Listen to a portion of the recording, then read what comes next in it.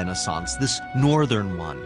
It's an astonishing movement that founded some of our most deeply held beliefs about art and about artists. It begins with a new way of painting, but it soon expands to become a true image revolution. At around 1500, a young German painter harnessed a new technology that transformed everything. The printing press made images available to a vastly expanded audience, and this painter used it to become the first world famous artist.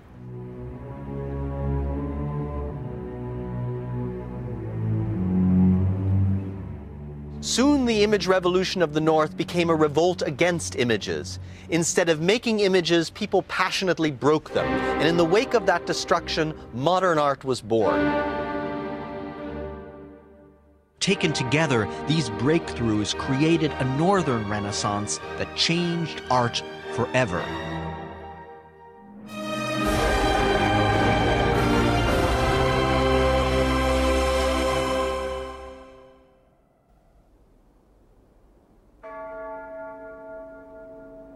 In the year 1420, Europe was a continent in the shadow of an unprecedented catastrophe.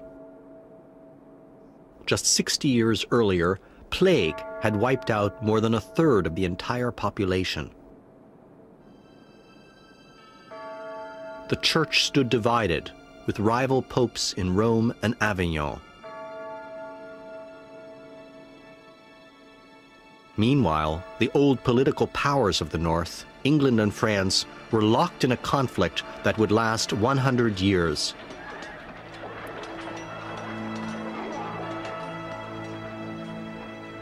But one area above all others was flourishing, Flanders, in present-day Belgium and Holland. And from there, a profound artistic revolution spread out across the continent.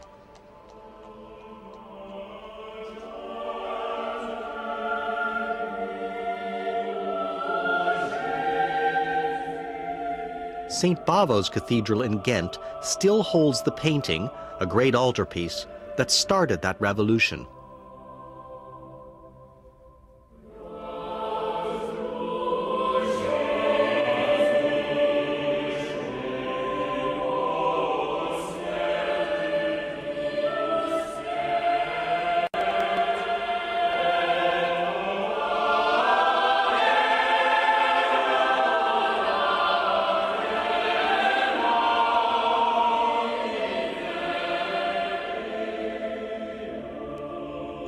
Altarpiece has overwhelmed viewers since it stood complete in 1432. People of the time pronounced it the most beautiful work in Christendom, and its chief creator, Jan van Eyck, was deemed the prince of painters. Today it remains arguably the finest single painting in the world, and of all its many wonders, the one most singled out for praise is the figure of Adam. To early observers, this painted Adam looked like a living being. Paint captures the minute subtleties of flesh. Blood seems to pulse beneath flesh, and the skin of Adam's hands and face is visibly tanned by the sun. One detail intensifies this semblance of animation. Adam raises his big toe so that you can see its underside. The toe seems even to stick out of the stone niche where the figure stands, allowing Adam to appear to step into our world. Remember, this is Adam. Adam who sinned, who therefore died, and who, as the ongoing consequence of his sin, made us all mortal.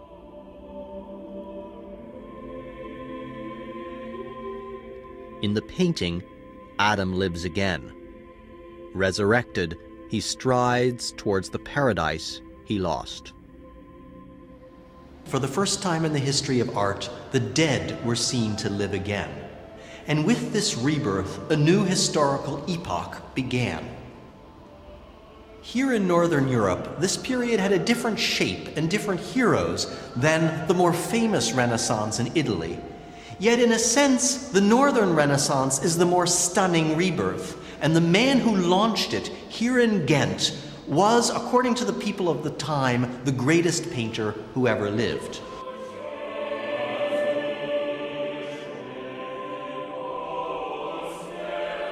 And through astonishing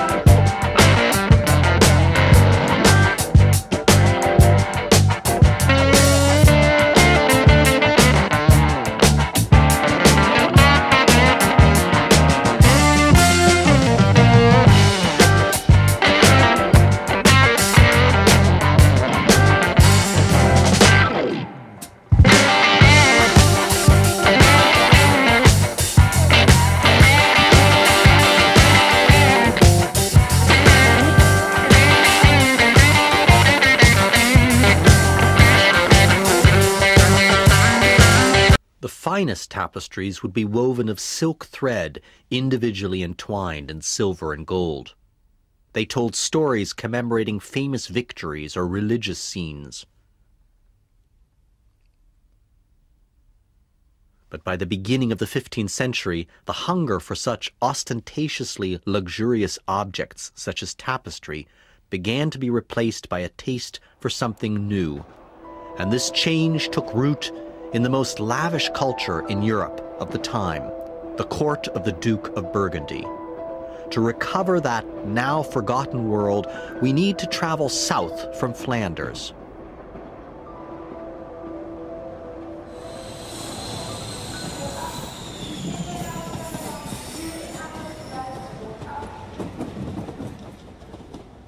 The dynasty of the Dukes of Burgundy had its traditional seat in the wine-growing regions southeast of Paris.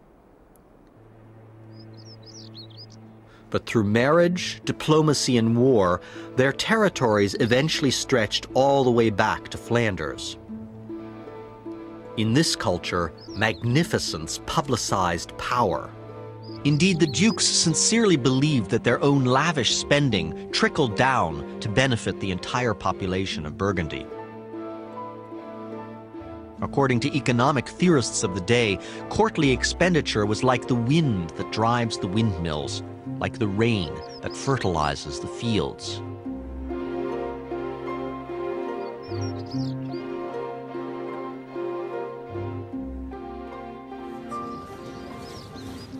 The works the dukes commissioned included hundreds of huge precious tapestries, enough to cover their many residences inside and out. Useless but staggeringly costly objects made of gold, gems, pearls, and opaque enamel were displayed briefly, only to be melted down to make new confections. Indeed, like the fabulous foods served at Burgundian court festivities, such works took long to prepare but were swiftly consumed.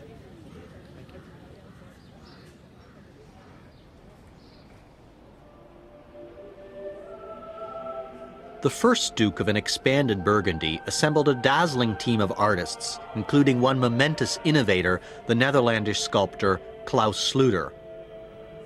And it's in his work, in the medium of carved stone, that a new realism first appears. Before Sluter, in the great cathedrals of Western Europe, monumental sculpture remained subordinate to architecture. Inert figures stood contained by the structures they embellished. Sluter changed all this.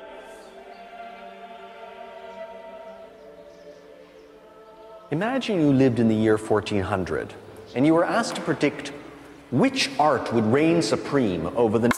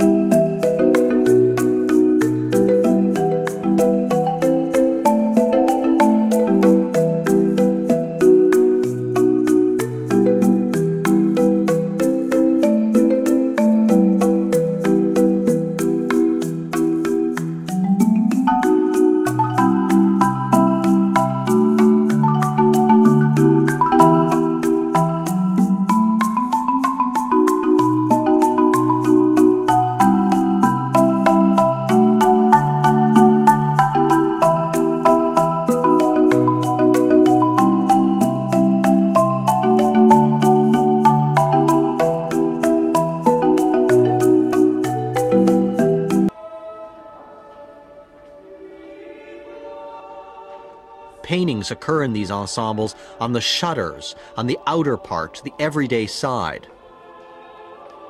They tell stories and prepare the way for the glorious spectacle that will occur when they open up. And that spectacle, that climax, both ritually as well as aesthetically of the altarpiece, occurs in the medium of sculpture, not painting. The painting on the wings of this altarpiece in Dijon was created by the artist Melchior Broederlam just 12 years before the Ghent altarpiece. It's typical of painting of the time. And while the stories it tells are clear, the figures in them, and especially the spaces between them, look awkward to the modern eye.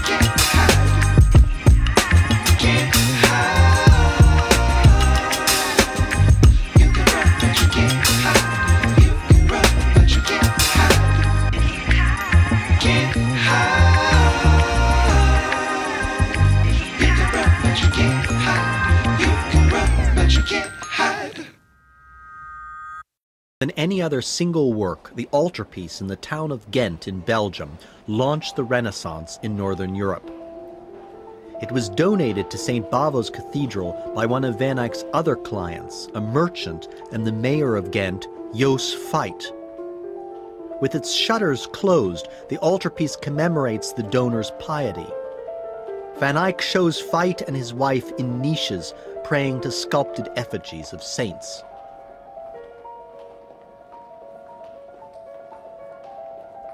Above them, in what seems a cutaway view of an upper room of the actual church, the Virgin receives Christ in her womb.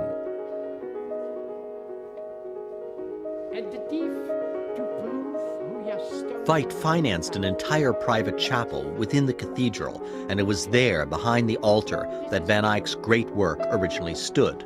The name is Joost Vijd, was mayor of the city of Ghent in the 15th century and a very rich man. And on the other side. Today, a full scale copy lets visitors experience the perfect fit between the chapel and the altarpiece. Over the centuries, reports survive of artists astonished by the work. In 1521, the world famous painter Albrecht Dürer came to view it and pronounced it a priceless painting of profound understanding. By then, less than a hundred years after it was painted, it was already a tourist attraction. Visitors paid high fees to see it. During the iconoclasms that swept northern Europe in the 16th century, when Protestants smashed the images in churches, Van Eyck's altarpiece was spirited to safety. Under Napoleon, the work was taken to Paris and then was divided up, scattering individual panels across Europe. These were only reunited after the First World War in 1919. Two of the panels were stolen and held ransom in 1934. This one was never recovered. A copy still marks its place.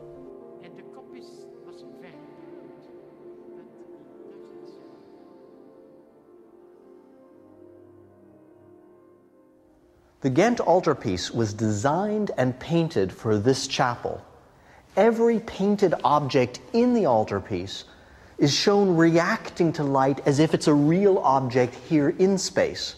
And you can see this immediately in the closed form of the altar, in which all the statues and the two donors, the fights, are all lit exactly from that part of the chapel where the sun streams in and would, if these were real statues, cast shadows and highlights in the way they do in Van Eyck's picture. The closed state is complex. The open state is even more complex.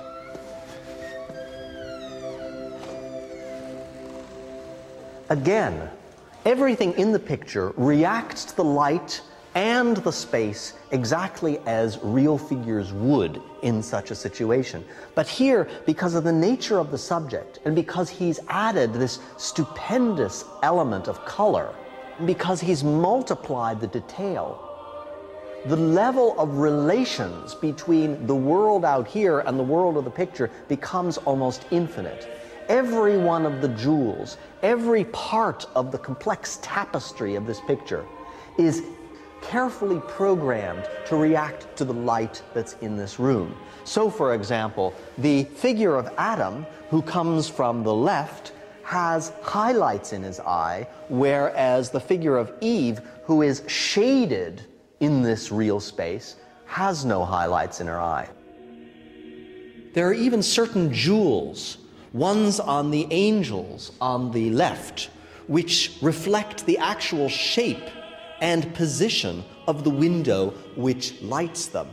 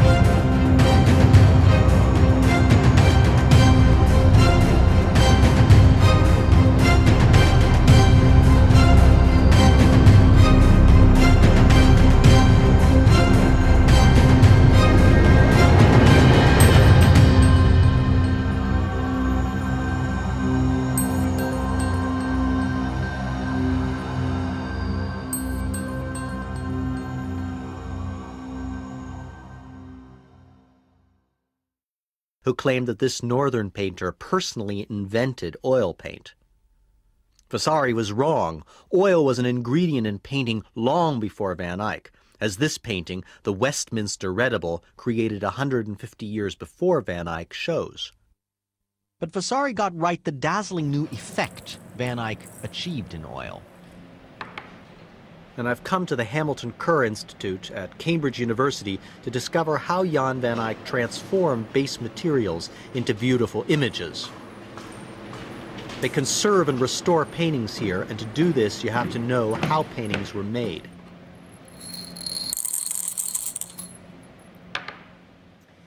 Well, this is ultramarine, lapis lazuli.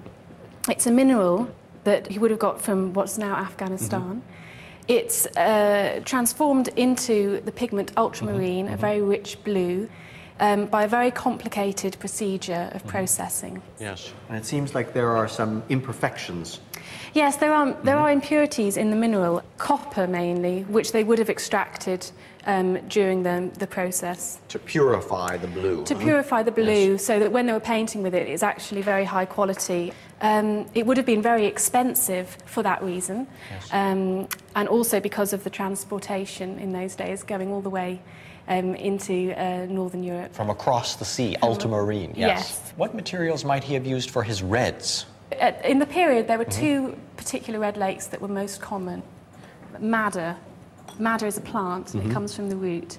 Um, or cochineal, um, which is made from the crushed up shells of beetles. Ah, you can see their little bodies still, Yes, yes. and none are moving, huh? No, they're very good. dry. To make right. it even more. What Jan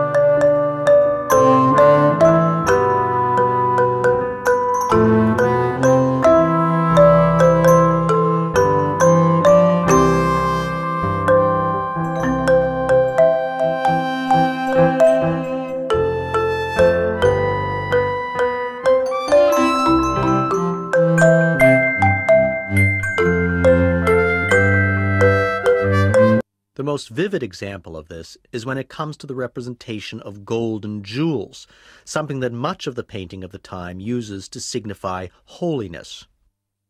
It's notable that Van Eyck didn't use gold leaf to represent gold objects in his pictures. Instead, he painted objects as golden. He never introduced foreign elements into his picture. He never placed upon the panel that he works, for example, an actual jewel. That was common in the period before Jan van Eyck. He creates a consistent surface, and that consistency allows the picture to achieve a, another order of consistency, namely that whatever is in the picture appears consistent with the world outside of the picture. That is, that the whole picture builds up an illusion of a global consistency which we are.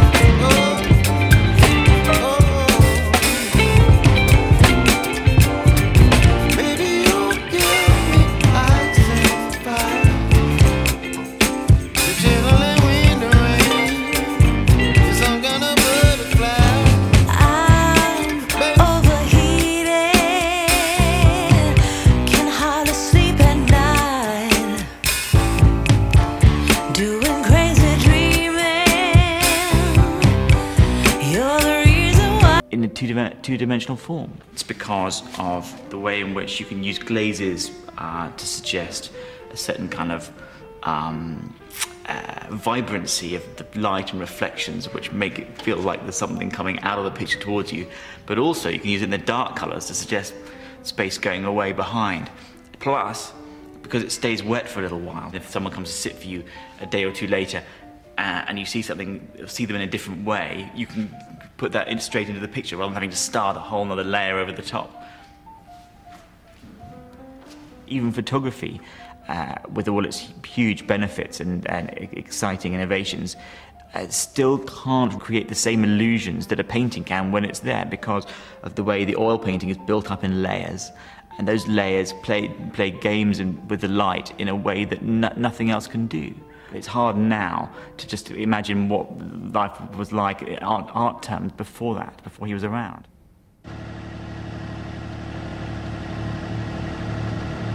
Almost more than any other product, paintings are the embodiment of labor.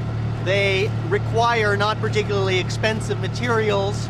They're made just out of oil and pigments, some expensive, but, but uh, broadly speaking, inexpensive compared to gold and jewels. Uh, and what makes them valuable is the labor that went into making them. Jan van Eyck's labor raised the status of painting almost immediately. The illusions he created were so convincing that in some ways painting could hide that it was painting. And since his products didn't look handmade, he could claim a higher status than that of mere craftsman working with his hands. But there were also advantages to consumers. Instead of paying for gold and jewels, now they could buy painted substitutes at a fraction of the cost. So to whom did this new art appeal?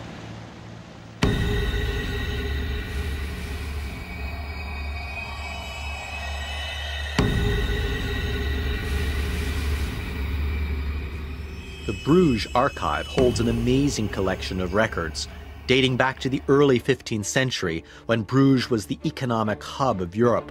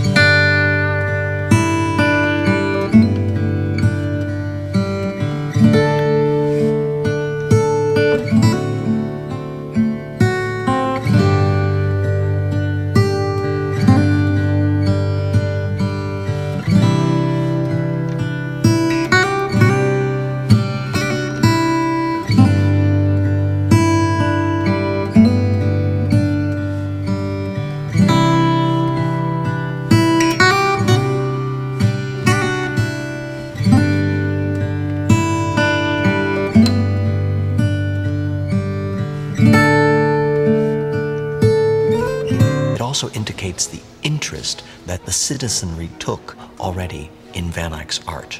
The visit of the Bruges magistrates, documented here, marks the beginning of a long mutual relationship between a new type of painting and a new urban elite. And the kind of painting they desired more than any other was a portrait of themselves.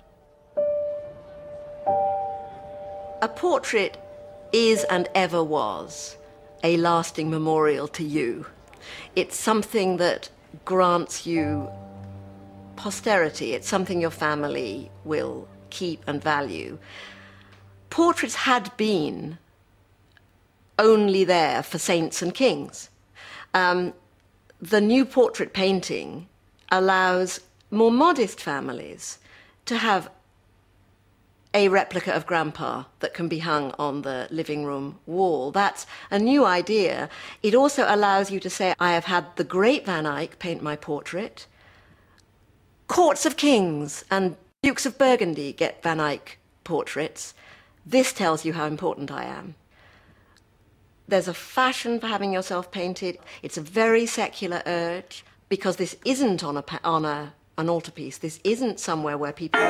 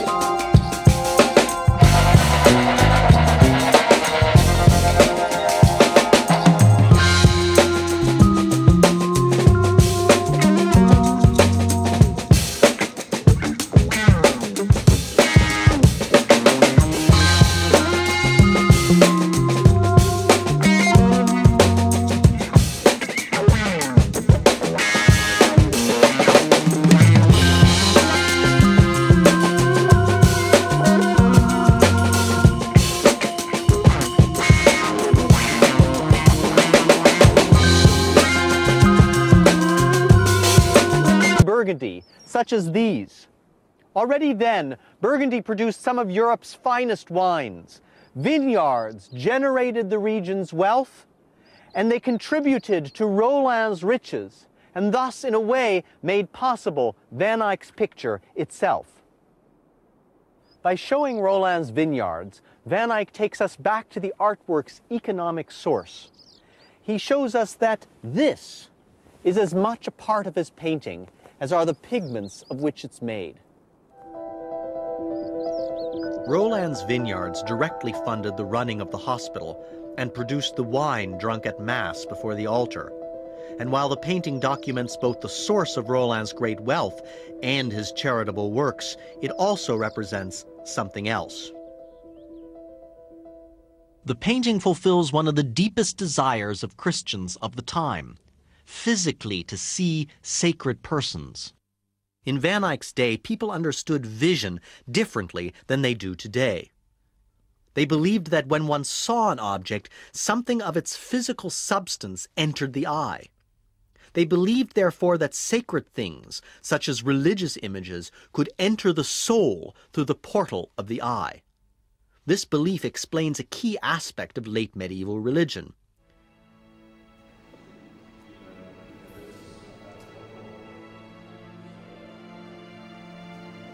During Mass, the bread of the host was held to be the body of Christ.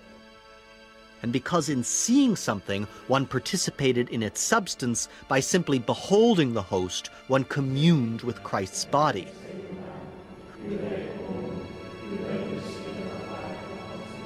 Within churches, there were special places for visual communion. This is one such place, a private chamber built into the side of a church, but it's also part of a domestic space. This here is an amazing survival. It's a private prayer gallery in Bruges, and these windows behind me overlook the Church of Our Lady. But it's built right into someone's private home. Visual experience of the private person is thrusting itself into sacred space.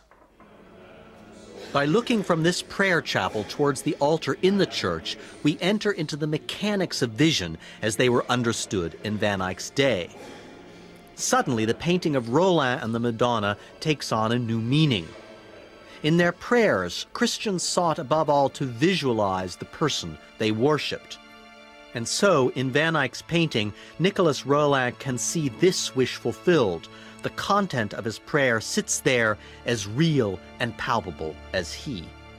Paint has made the Virgin as present, as material, as it were, in Rolin's experience, as the book he holds, as the vineyards he owns.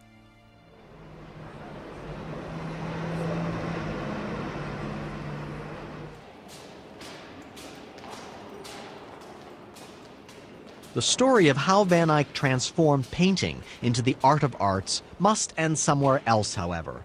This final chapter unfolds in a panel that hangs here in London. This is Van Eyck's most haunting painting. It's an incredibly modern looking image of a man and a woman from long ago inside a bedroom. Everything about the picture is revolutionary the full length portraits, the profusion of detail, the sheer complexity of it all. The sequence of its owners attests to its preciousness. It passed almost immediately into royal collections, where it stayed until it came to Britain in the early 19th century. And it's been in the National Gallery ever since, where it remains one of the most popular pictures. It's partly the painting's realism that fascinates. Capturing perfectly the room and its inhabitants, the picture is like a time capsule of lived experience. Once arrived in this room in Bruges at 1434, we become fascinated, even unsettled, by what's taking place in this bygone here and now. Early documents record only a name, Arnolfini. A simple portrait of a man and his wife, then? But the picture's too unique and the details too intriguing to leave it there. Historians have proposed theories, including a persistent one that Jan van Eyck, with his brush, testified to the event of the couple's marriage. Two years ago, an art historian published a new theory of Van Eyck's masterpiece, which put everything in a completely different light. As it happens, this historian is my wife, and her simple solution to the great puzzle was published the day before our marriage. The center of much of the debate has been the identity of the couple portrayed, since nothing in the picture itself, as it now survives, tells us who they are. For a long time, scholars have known that it was likely to be a member of the Arnolfini family who are from Lucca in Italy but lived in Bruges. Giovanni Arnolfini was decided upon as the likely candidate. And he had married someone called Costanza Trenta, and everything seemed to be right until it was discovered that she had died at least by 1433, which is the year before the painting is dated. There are several possibilities. One is that it's a different Giovanni Arnolfini, or a different Arnolfini altogether. Another is that there was another wife that's not documented. Or you could decide that it is this woman, Costanza, um, and perhaps it's not a wedding or a betrothal. And in fact, it's not even a straightforward portrait.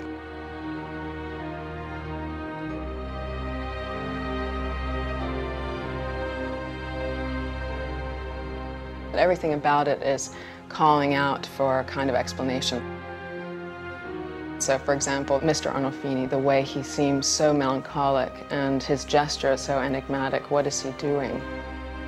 The difference between the portrayal of his face and her face, most people had said, well, she's idealized because she's a female, and that's true. I mean, she definitely looks, you know, you, would be hard pressed to find a person who looks like that in real life. She's, she looks like a porcelain doll.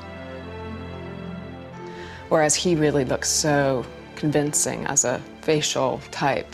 Um, so, what could that discrepancy be? I started to look at the details that for some have been seen as supporting the marriage claim, and for others were seen as just details of, of objects. The mirror at the back, which has a lot of connotations, um, but one of the details of the mirror are scenes of the Passion of, of Christ around the outside all of the scenes of Christ living are on the side where Giovanni is standing on the left side, and all the scenes of Christ dead and resurrected are on the right side. It's a daytime scene, but there's a candle burning. I mean, why would Van Eyck include a lit candle in a daytime scene? And why would he bother to show the detail of only two candles, one of which is, has gone out and one of which is burning?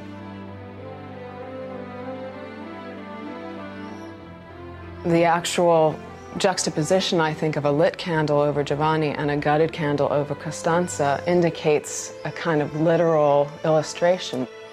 It's like to just write it off as a kind of snapshot of reality really misses the point, I think, that's being made. The point that's being made is that she's dead and he's not, that he is basically honoring her um, as, a, as a very important part of his life that's now gone.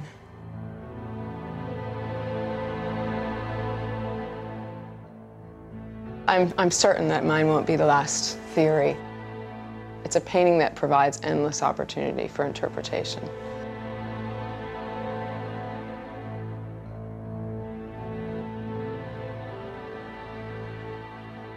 It's not for nothing that the mirror is an age old symbol of death. The images in a mirror are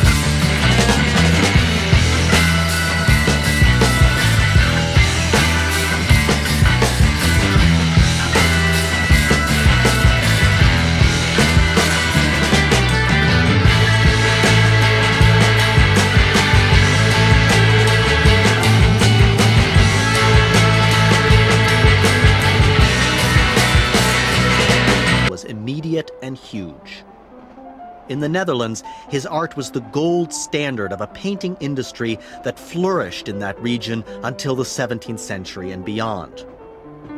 His lasting influence is felt whenever ambitious artists of any era stake their claim to greatness. Whenever painters propose that painting is the supreme art. And